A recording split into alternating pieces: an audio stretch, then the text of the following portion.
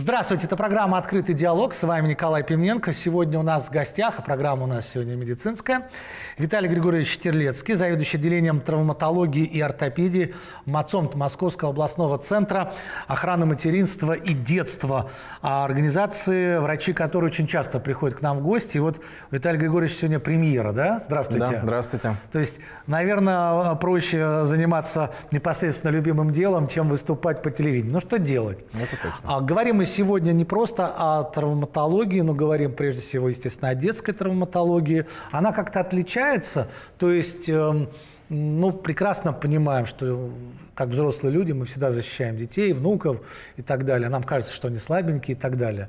Но человеческие кости, они действительно, э, потому что ведь есть еще э, зрелые да, травмы, которые, наверное, отличаются. Вообще, когда человек менее безопасен для травм, какой у него период? Так, от 20 до 40, а все остальное время опасно? Ну, по факту, любой человек подвержен тому или иному виду да. травматизма. Есть просто определенные особенности, связанные именно с особенностями возрастными. Угу. Да? Изначально травматология и ортопедия – это специальность, на которую проходит обучение а, врач, который может закончить и педиатрический, и лечебный факультет. Угу. То есть это универсальная а, ординатура. Ага. По факту обладатель сертификата травматолога-ортопеда может лечить как детей, так и взрослых. Угу. Дети, с одной стороны, чуть, скажем, так, менее подвержены более серьезным повреждениям, там, Гибче. оскольчатым переломам. Да, угу. за счет э, более органического состава костей, да, там больше все-таки мягкотканных пока еще структур, меньше минеральных. Да, да у них есть зоны роста, которые, к сожалению, могут также отделяться, отрываться, угу. так называемые эпифизиолизы. Угу. То есть переломы по зоне роста. Есть переломы по типу зеленой веточки, когда полностью не нарушается наружный слой кости, да, но она при этом деформируется угу. и ломается внутренняя структура. И с одной стороны, детская травматология кажется немножечко легче за счет хороших адаптивных способностей ребенка именно к, регенера... к регенерации, угу. да, к восстановлению. С другой стороны, она не менее разнообразная и не менее интересная. А если говорить об ортопедии, то врожденная аномалия развития, какие-то пороки, э, последствия травм, когда ребенок на фоне невысокого болевого синдрома может даже не обратить внимания на то, что у него случился перелом. А родители по той или иной причине не увидели деформацию, mm-hmm. которая стала нарастать. Да, вот бороться с последствиями это тоже очень интересно. Вот давайте, может быть, мы сейчас оттолкнемся от ортопедии или ортопедии, mm-hmm. как мы тут пытаемся профессионально говорить, да, на медицинском языке. А вот э, есть такое детские да, слова, там сколиоз, например, или а, значит, плоскостопия. Вот. вот эти вещи, они по-прежнему остаются. Почему? Потому что э, во все времена школьников да, заставляют сидеть ровно, но мы видим, что начиная примерно, как только не заставляют, то и взрослые, и дети, э, ну, скажем, периода там от с 15, когда уже можно, да, все немножечко начинают как-то склоняться и так далее. И у некоторых действительно растет горб. То есть э, есть ощущение, что этому вопросу меньше сейчас уделяется внимание. Именно правильной посадке, правильному хождению. Потому что, насколько я помню из уроков, что вот мы же прямоходящие, и это как-то противоестественно для природы. Мы вынуждены так ходить. То есть, ну, если бы мы были на четырех конечностях, было бы проще. С точки зрения именно прямохождения, да, многие мои коллеги любят а, ряд заболеваний, группы заболеваний, mm-hmm. а, ну, использовать такой термин, скажем, э, расплата за прямохождение. Вот. Действительно, э, с учетом того, что в ходе эволюции человек все-таки стал на нижней конечности, да, и, как правило, все-таки опирается на нижней конечности, да, да. есть ряд заболеваний, связанные именно с таким стереотипом походки. Угу. Но по факту сложно сказать, увеличилось ли количество самих заболеваний ортопедических, связанных с нарушением осанки или с неправильной постановкой стопы. Угу. Скорее, мы стали меньше уделять внимание подрастающему поколению стало чуть меньше дисциплины. Mm-hmm. Вообще в медицине, увы, а, ну, по крайней мере, на постсоветском пространстве, менталитет сложен таким образом, что мы хотим какую-то волшебную таблетку, чтобы все прошло. Да. И с точки зрения лечения, к сожалению, многие пациенты, они адепты э, пассивных видов терапии. Mm-hmm. Ну, например, э, ну, без обид физиотерапевтов, да, Человек хочет прийти, получить какую-то процедуру там, или ряд процедур и ждет от этого какого-то хорошего результата, да, да, да. а самостоятельно не хочет что-то вкладывать. И тут уже, скажем, наоборот, э, ну, хвалы какие-то можно петь э, врачам лечебной физкультуры, mm. которые как раз-таки пытаются воспитать в пациентах желание восстанавливаться. В этом плане, если мы берем спортивную медицину, как еще одно ответвление травматологии и ортопедии, вот там как раз-таки приверженность, комплаентность пациентов к лечению, у которых на кону спортивные результаты, быстрое возвращение в спорт, они очень э, привержены именно к активным видам реабилитации.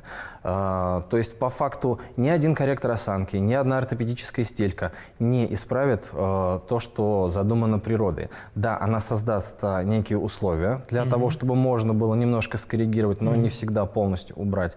Но при этом э, это пассивный вид реабилитации. Мы протезируем функцию.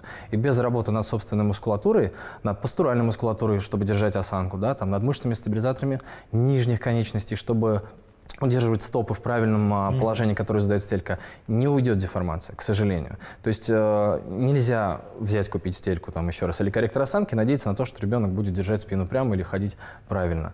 ЛФК ну, есть, работа Да, магазин собой. ортопед э, оптичный, да, угу. это еще не выход из ситуации. Это большой помощник, но, к сожалению, не панацея, увы. То есть это нужно заставить себя ходить прямо, очередь, да. ходить себя да. правильно, да. сидеть правильно. Да. Ну, в общем, очень много таких аспектов. И э, последний вопрос из этой э, части. Вот я помню, что плоскостопие, такое слово, да, что даже в армию не брали, я прям сейчас не знаю, берут или не берут, но это э, действительно такое серьезное нарушение, что э, ну, у нас в свое время мерились этими, раз в армию не берут, значит, что-то серьезное. Но сейчас перечень состояний заболеваний по понятным причинам немножечко меняется. Да? Угу. Под призыв могут пока попасть люди с различными патологиями, в том числе и ортопедическими. А почему, например, плоскостопию такого внимания большое уделяется? А единственная точка опоры, с чего мы начали, угу. да, с прямохождения, у нас это стопа. И вообще специальность ортопедия с греческого переводится как ортопедис, правильная стопа. Угу. А, и тут тоже есть две такие небольшие школы. Ну, скажем так, ортодонты, стоматологи скажут вам, что нарушение осанки, походки и вообще структуры организма связано, например, с неправильным прикусом, что все начинается сверху вниз. Ага. Я как ортопед не смогу, не, ну, не смогу, наоборот, согласиться, да, поскольку при неправильной постановке стопы или при вариантной постановке, да, ну, сложно сказать, какая неправильная, потому что встречаются в природе все. Угу. И плосковальгусная деформация или гиперпронация – это очень частое отклонение э, постановки стопы. Она, к сожалению, сама по себе приводит не только к снижению амортизирующих функций стопы, угу. но и к отклонению вектора нагрузки. При этом страдает не только сама стопа, но и все вышестоящие суставы, включая коленные, тазобедренные и позвоночник. То есть за счет mm-hmm. того, что стопа стоит неправильно, мы не гасим нагрузку, которую испытываем не только при ходьбе, но и при беге, да, mm-hmm. а, при прыжках, и, соответственно, получаем определенную ортопедическую патологию как следствие за счет Хорошо. накопления вот этой нагрузки. Хорошо. А как тогда, а, ну ведь э, мы же как говорим, природа, да, а, много, часто, часто ли такие случаи сейчас происходят? И э, может природа подстроиться или обязательно нужен врач уже, чтобы помогать на каком-то этапе? Ну, с учетом того, что все-таки цивилизации развиваются, да, угу. мы же не ходим по улицам босиком, несмотря на то, что это естественно, угу. да, а, все-таки есть возможность исправить и отсрочить наступление вот тех самых расплат за прямохождение, понятно, да. Понятно. Остеоартриты, группа заболеваний, которые раньше называли артрозы, да, коукс-артроз, гон-артроз, угу. По факту это изменение не только самого суставного хряща опять в ходе накопительной какой-то нагрузки, но и окружающих мягких тканей. И вот если все-таки сформировать правильный стереотип походки, правильно направить вектор нагрузки, минимизировать ударную нагрузку, то мы сможем отсрочить наступление, ну, грубо говоря, продлить свою активную молодость. Понятно. Я вот всю нашу программу все стараюсь прямее и прямее быть после таких разговоров. Но вернемся все-таки к детскому травматизму, потому что мы находимся на том этапе, когда зима, да, тут э, самое что ни на есть а, спокойный взрослый, который все выполняет может просто так упасть, да, подскользнуться. А что же говорить о ребенке, который ни секунду не может устоять на месте. С другой стороны, иногда смотришь, а, как они там с горки какой-нибудь скатываются, и ничего с ними не происходит. Кажется, что если бы я скатился сейчас, то я бы уже, наверное, бы и не собрали бы меня там. Поэтому то, о чем мы говорили, да, но тем не менее, а, какой сейчас детский травматизм вот в этот зимний период? Происходит? И кто ну, в этом виноват прежде всего? Сами дети или взрослые тоже? Ну, все зависит, конечно, от возраста ребенка. Да, mm-hmm. очень э, большой пул травм э, детей. Э, условно, в плане описания обстоятельств травмы mm-hmm. можно начать с фразы «оставшись без присмотра». А, вот это самое мы, главное. Да, мы так или иначе все равно ответственны за своих детей, да, и касательно бытового, и уличного, и школьного травматизма. Mm-hmm. Но вот именно детки возраста, скажем, там, примерно до 6 лет, действительно часто получают травму в тех обстоятельствах, когда, Казалось если бы взрослый чуть более тщательно опекал в этот момент, mm-hmm. могло бы ничего не произойти. В этом плане, например, у меня у самого две дочки четырех лет. Mm-hmm другие родители смеются над тем, как я гуляю с ними. Mm-hmm. Да? То есть я, к сожалению, может быть, это результат профессиональной деформации, mm-hmm. всю окружающую среду вижу как потенциально опасную. Ага. Не только для ребенка, но и для взрослого. Ну, грубо говоря, там, острый угол стола. Я могу представить, что ребенок определенного роста может какой частью тела удариться. Удариться, да. Да, и вот не зря в строительных гипермаркетах есть а, все вот эти защитные клейкие ленты, да, мягкие да, и прочее, да, прочее, да, чтобы да. создать безопасную среду вокруг ребенка. А в плане зимнего травматизма, детки-то как раз-таки, если говорить просто о поскальзывании, они умеют падать, они умеют как-то расслабляться, Но они группироваться и приземлиться. Да, да. В том числе, у них да. не такая высококинетическая травма, они меньше весят, действительно, это небольшая высота, с которой они падают. Взрослые все-таки страдают именно вот от таких нелепых травм, от mm-hmm. поскальзываний в большей степени. Дети страдают, наверное, от а, каких-то активностей. Mm-hmm. Ну, катание на тюбингах в неорганизованных местах, mm-hmm. когда там это не безопасная трасса, а какой-нибудь дремучий лес. Вылетел, ударился. В дерево влетел, да, это уже будет касаться там, скорее всего, не только моих коллег, да, но и нейрохирургов, Голова. иногда абдоминальных хирургов, да, то есть там и сочетанная травма может быть, это достаточно серьезно. Mm-hmm. Вот все увлечения, которыми детки сейчас, э, скажем так, привержены, они так или но иначе они же всегда были, их никто, как говорится, не отменит, конечно, к сожалению. Конечно, но раньше, скажем так, наверное, в меньшей степени следили за статистикой и именно mm-hmm. социальной важностью данных травм. То есть сейчас, опять же, в связи с развитием и средств массовой информации, mm-hmm. все-таки ну, освещение да, больше. Узнаем, да. Конечно. Сейчас у нас мы движемся к первой паузе, во второй части продолжим. Но вот э, на сегодняшний день, если сравнивать, да, хотя бы с прошлым годом, я не прошу конкретную цифру, но а, мы видим, что травматизм зимний, да, вот новогодний, скажем так, он в традиционных каких-то рамках или его больше становится, или меньше? Потому что, наверное же, от погоды зависит, потом огромное количество праздников, потом еще и студенты, они же тоже недалеко от детей, у них там каникулы, сейчас вот сессия закончится, uh-huh. будет у них февральский период каникулярный. Ну, э, Меняется цифра или примерно Плюс-минус остается в одних рамках, все зависит действительно от погодных условий, если uh-huh. стоят крепкие морозы, то детки больше получают травмы в быту, когда они не могут выйти на улицу и погулять. Бесятся дома, в хорошем смысле да, слова, да? да? да могут да. удариться. Причем там. получают достаточно серьезные повреждения, в том числе и в быту, хотя казалось бы, да. Ну, мы сейчас об этом тоже да. поговорим. Напомню, что у нас в гостях Виталий Григорьевич Терлецкий, заведующий отделением травматологии и ортопедии Московского областного центра охраны материнства и детства, известный нам как МАЦОНТ. Говорим о детском травматизме, но видите, мы начали даже с таких глобальных вопросов. Вот, оказывается, когда мы были маленькими, нам правда было проще много, хотя мы все время хотели быстрее повзрослеть. Но продолжим через некоторое время. Напомню, что это программа «Открытый диалог». У нас в гостях Виталий Григорьевич Терлецкий, заведующий отделением травматологии и ортопедии Московского областного центра охраны материнства и детства. МАЦОМТ. Говорим о травматизме, о детском травматизме. А, оттолкнулись мы вообще глобально от вообще травматизма как такового, сравнили его в первой части детский и взрослый, поговорили немножко о зимнем, но понятно, да, с чем он связан – фигурное катание, лыжи, но прежде всего, наверное, горки всевозможные. Да и просто иногда, наверное, кто-то э, такие сугробы в этом году были, да, что видел, как часто дети прям в этот сугроб, не, не задумываясь, как в речку. А, вы сказали, что есть еще в быту. Это что за травматизм? Ну, бытовой травматизм – это травмы, которые детки, ну и взрослые, естественно, получают в каких-то бытовых условиях. Это может быть дом, да, угу. это может быть в гостях. Вот. Как уже говорил, э, в крепкие морозы детки стараются сидеть дома, как-то себя развлекать. Угу. А развлекать условиях. нельзя, просто спокойно сидя, Ну, конечно. Опять да? же, они также могут оставаться без присмотра, угу. и угрозу могут нести э, совершенно, казалось Все, бы, безопасные угодно предметы какие-то, да. Недавно у нас был очень интересный случай. Ну, в целом вообще за три недели января у нас mm. прошло четыре пациента, которые получили травму в быту а, о разбитое стекло межкомнатной двери. Mm. Да, один ребенок получил множественные колото-резанные раны стопы, бесился и ногой угодил в это стекло, оно разбилось. Да. Слава богу, там без всяких серьезных структурных ага. повреждений. А, двое детей с повреждениями артерий, и вот одна девочка 7 лет, у нее еще и два крупных нерва повреждены были. Ну, там стечение обстоятельств такие, что ей очень повезло. Во-первых, папа у нее большой молодец, то, что не испугался вот mm-hmm. этой всей картины, да, своевременно прижал артерию, остановил кровотечение. Mm-hmm. Достаточно быстро прибыла бригада скорой медицинской помощи, доставил к нам. Ну и у нас бригада сработала на ура. Сосуд мы под микроскопом ей восстановили, то есть сшили, сшили нервы. Э, конечность жизнеспособна, функциональна, угу. но То девчонки... спасли ребенка. Да, ну и конечность, соответственно, тоже. Предстоит курс реабилитации, потому что э, ну, два крупных нерва из трех на конечности повреждены, да, а, так называемая угу. трофика, то есть питание мягких тканей, это не только артериальный кровоток, угу. это еще и нервные импульсы. Угу. То есть у нее потенциально могут развиться нарушения двигательной функции, Естественно, у него уже сейчас есть нарушение чувствительности в зоне угу. э, иннервации этих двух нервов.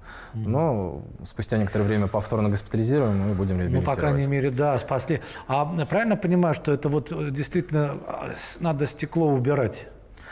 А, По крайней вообще, мере, для во э, время маленького периода ну, детского. Тоже есть, скажем так, э, двоякая ситуация. Лучше, не имея э, представления о том, что происходит, инородные тела из раны не извлекать, поскольку, например, стекло, оно условно не, может... Я про другое говорю. А. Вообще из дома а, Из дома, конечно. Да. Конечно, это опять же к вопросу о восстановлении представления о том, что ребенку все очень интересно, и есть предметы, мебели, там, просто интерьера, которые могут mm-hmm. потенциально быть опасными. И если мы говорим о травматизме самых маленьких деток, да, когда они начинают там вертеться, крутиться. Ни в коем случае нельзя там отворачиваться, оставлять их на пеленальнике. Я огромное количество раз слышал от родителей пациентов, я отвернулся или отвернулась всего на секунду. Да. Поверьте, детям, особенно маленьким, Пол этого достаточно. Хватит, да. Да. А, взрослые, как ну, человек все-таки с высокими когнитивными, интеллектуальными mm-hmm. способностями, должен понимать, что маленький ребенок, ему интересно абсолютно все. Он будет mm-hmm. тянуться за горячим, холодным, острым. И нужно наперед немножко продумать, что опасные химические вещества, будь то какая-нибудь уксусная эссенция, ну, особенно то, что нельзя, средства, да, хочется. Безусловно, даже, да. оно же все еще в красивых бутылочках. Да, да. То есть это все нужно убирать вне зоны доступа для ребенка. То есть бьющееся стекло, острые углы. Да. Химические и... агенты, что-то горячее, да, то есть Скользкий очень много детишек поступает э, с ожогами, когда ребенок ребенок только научился ходить, там это возраста 10 месяцев и старше, mm-hmm. родители еще не поняли, что вот он ходит, и он видит, что что-то красивое, кружечка какая-нибудь стоит да, на поверхности стола, он дотягивается mm-hmm. и себя кипяточком этим крутым Да, нам ваши коллеги нам рассказывали тут такие истории тоже. Но вы, вернемся, вот еще два таких главных момента. Во-первых, чуть позже поговорим о том, если вот то, что вы рассказывали, случилось, как правильно поступать в разных э, историях.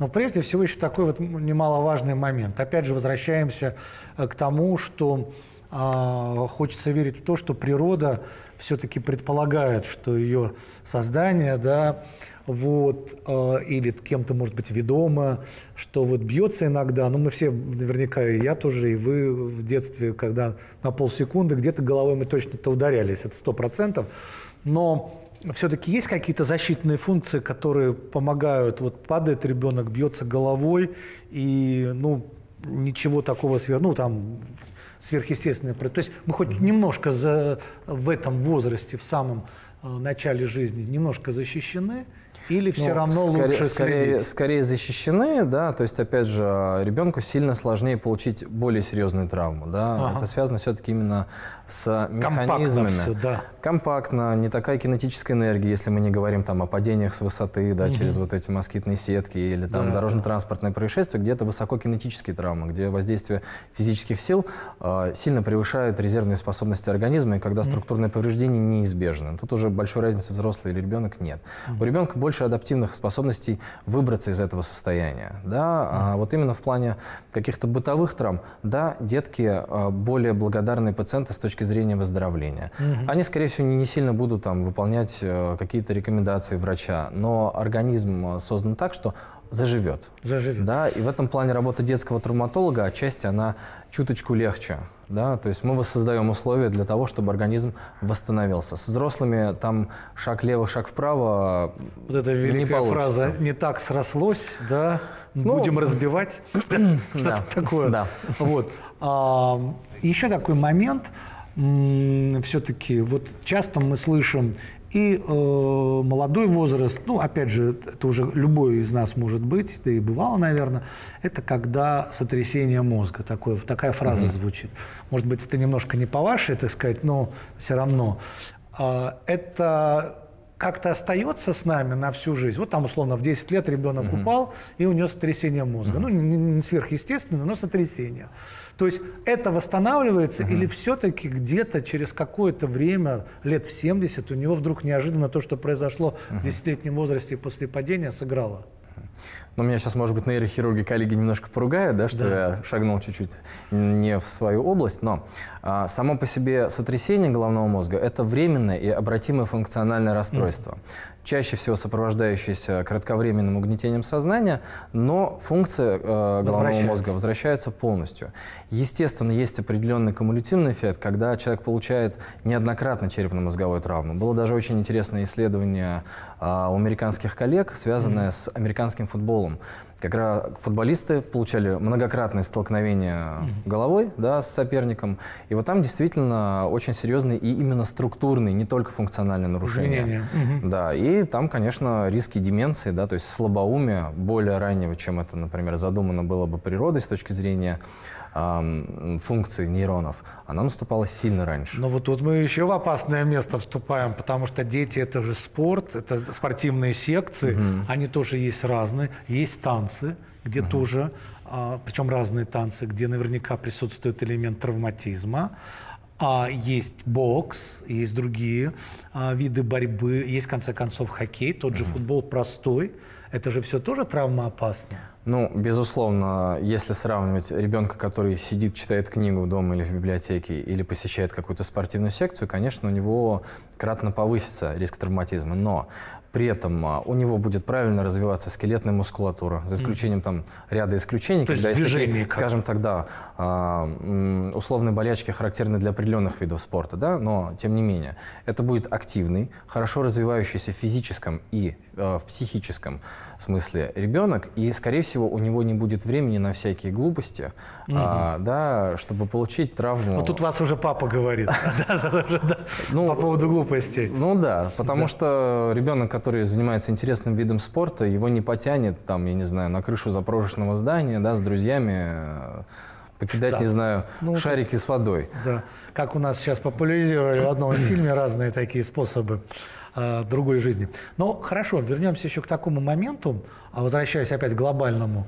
Э, человеческие кости, мы же видим, ну, по скелету, да, есть даже целая специальность, и поклонники так, таких вот э, скелетов еще из прошлого, которые следят, как это выстраивается, как это выглядело, тот же динозавр и так далее и тому подобное. То есть скелет нам дан все-таки во спасение да, на нем держатся, собственно говоря, все наши органы, не будь скелета, ничего бы не было. Но с другой стороны, мы видим, что он все равно хрупковатый какой-то. Э, помнится, говорили, говорилось, что кости наши как там в течение жизни много раз меняются. Да. Вообще скелет наш, он как-то улучшается, ухудшается, или он каким был, таким и остался. И мы должны я имею в виду не конкретно каждого uh-huh. человека, а вообще вот глобальное человечество. Или все-таки он э, понимает, что стали чаще падать там, или хуже ходить стали, больше есть, жирнее стали. Uh-huh. Меняются кости наши? Ну, сразу отвечу на вопрос именно и персонально, и глобально с точки зрения эволюции. Персонально, пока мы с вами сидим, угу. каждая кость нашего организма, испытывая нагрузку с определенным направлением, она меняется. Да? Угу. То есть а, трабекула костная, структура костная выстраивается по а, линиям нагрузки. А, часто привожу как раз-таки родителям пациентов пример, почему после снятия гипса на нижней конечности нельзя сразу давать нагрузку. полноценную нагрузку и вставать. Да? А, не было условного правильного направления осевой нагрузки при переломе. Mm-hmm. Кости не перестраивались по шунту этой нагрузки, да, по этим силовым линиям. Mm-hmm. И, соответственно, есть риск перелома в другом месте или в том же самом месте за счет а, слабости кости. Да. Да? Mm-hmm. А, космонавты, которые длительное время находятся на орбите и вообще не испытывают гравитационного воздействия, у них скелет перестраивается очень сильно. И mm-hmm. их, как правило, по прибытии, по возвращении на Землю выносят на руках. Mm-hmm. До тех пор, пока структура костной ткани не восстановится. А с точки зрения эволюции, конечно же, определенные изменения там с первобытными людьми тоже есть. Опять же, болезни цивилизации, да, mm-hmm. то есть чаще всего малоподвижный образ жизни, да, использование неких гаджетов, опять же, нарушение осанки, э, описанный вот относительно это, недавно. Вот да, это правда, что у нас да. вот этот палец да, э, да. начинает больше развиваться, ну, правши? Ну, не то, что развиваться, но он претерпевает сильную нагрузку за счет смартфонов, применения планшетов, да, то есть как раз-таки вот следствие развития цивилизации. Так или иначе, глобальное человечество э, испытывает нагрузки нетипичные э, там, своим предшественникам предшественникам. Но природа подстраивается под это? Безусловно, мы э, отличны по структуре, в том числе и костей, от первобытных людей, у которых э, не было планшетов. Да? То есть... ну, ну вот э, давайте так, сравнение такое. У нас минута остается, хотя интересный такой момент. Вот есть там условно кот, да, ну mm-hmm. наши самые близкие, и человек. У, котов, скажем так, у кошачьих, угу. у них, наверное, меньше изменений, чем у нас – вот в свете нашей жизни. Они же как ходили, так и ходят. Ну, если, конечно, они тоже не живут в бытовых условиях. Ну, с точки зрения одомашнивания вообще каких-то животных, да, которые тоже, к сожалению или к счастью, приобретают определенные угу. а, видовые изменения, а, полезные нам или не очень полезные, да, случайно закрепившиеся в эволюции, конечно, человек более изменился, чем угу. представители... Но в лучшую других. ли сторону? А вот это уже вопрос философский. Это вопрос философский. Тут мы поставим точку. Я думаю, что мы еще пригласим Виталия а, Григорьевича, потому что, видите, говорили о многом. Ну и последнее, а, коротко. Как поступить в том случае, если произошла травма, вот самый вроде бы, знаете, как на, на руку упал ребенок, угу. ну вроде болит, да, ничего, поболит, перестанет. И до самых сложных, как срочно нужно, а, в общем, за что хвататься? Ну, во-первых, дети очень часто плачут не от боли, а от обиды, да, поэтому если ребенок при вас упал, подойти, успокоить, может быть, как-то перевести в шутку, но если вы видите действительно признаки повреждения, да, отек, кровопотек или синяк, нарастающий особенно быстро, mm. деформацию, там, нарушение чувствительности, двигательной функции, конечно, лучше обратиться за специализированной помощью. Лучше на вас как-то с негодованием посмотрит сотрудник травмпункта. Чего да, вы приехали, да? Да, с такой глупостью, но вы убедитесь, э, что с ребенком все хорошо, чем потом врачам придется бороться с какими-то последствиями, если вы не приедете, а там что-то более серьезное. Вот, но попасть-то можно, очереди, наверное, зимой-то стоят. Да можно попасть, в принципе, почему? То есть у вас есть принцип срочного приема, а, отдаленного, ну или как там, планового? Определенно, определенная сортировка есть, да. Ну, во-первых, если это самообращение, обязательно выйдет медицинский сотрудник и оценит внешнее состояние ребенка, не требует ли он какого-то ургентного, то есть неотложного вмешательства. Если это сопровождение бригады скорой медицинской помощи, то там уже определенный входящий диагноз тоже будет, то есть mm-hmm. человек с медицинским образованием первично ребенка обязательно посмотрит. То есть все отделение готово, все у вас есть, все Безусловно, необходимые? 24 на 7. Угу, то есть даже да. самые сложные, как мы сегодня слышали, да. даже такие операции, которые, казалось бы, уже вопрос жизни и смерти иногда стоит. Да. Мы не прощаемся, ждем вас еще, потому что Спасибо. впереди начинаются еще летние, потом будут периоды, когда тоже детям кажется, что э, тут еще добавятся речки, всякие водоемы и так да. далее. А, заведующий отделением травматологии и ортопедии Московского областного центра охраны материнства и детства, в котором все есть 24 на 7. А, Виталий Григорьевич Терлецкий был гостем нашей программы. Внимательно следите за своими детьми в любом возрасте, от мала до велика, правильно? Все ну и за собой не забывайте, потому что создавать обузу тем же детям тоже не хотелось бы. Всего вам доброго, здоровья. Это была программа «Открытый диалог». С вами был Николай Пивненко. До свидания.